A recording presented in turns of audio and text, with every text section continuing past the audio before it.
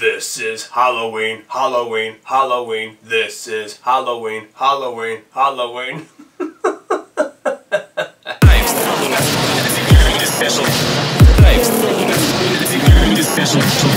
What's up everybody? It's Yaga here. Halloween is right around the corner and I realized the meaning of Halloween sort of changes as you get older from a kid to an adult. Growing up, Halloween was so much fun. What's Halloween like when you're a kid?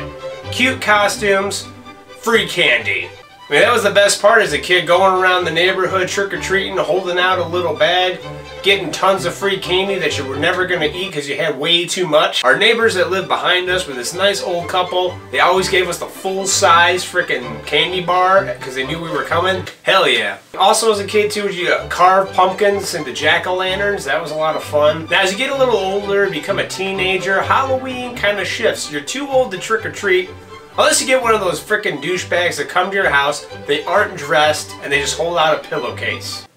F you. I think you get into more trouble when you get older, like as a teenager with Halloween, because then you get, you know, people go around the neighborhood, uh, smashing pumpkins, TPing houses, egging houses. Not that I ever did any of that.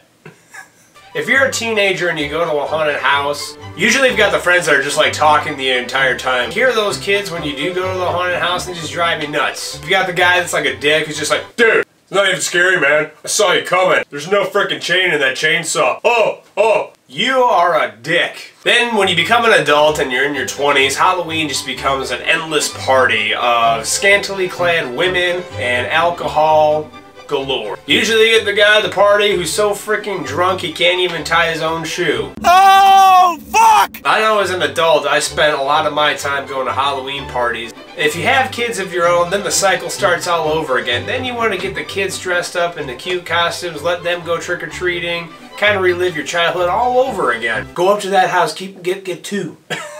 One for me, one for you. It's great to see how Halloween changes meaning from a child a teenager, and as an adult. I love Halloween still. It's a great time of year.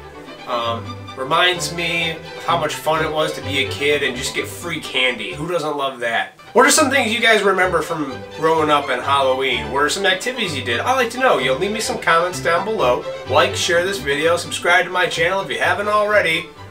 Don't take yourself too seriously.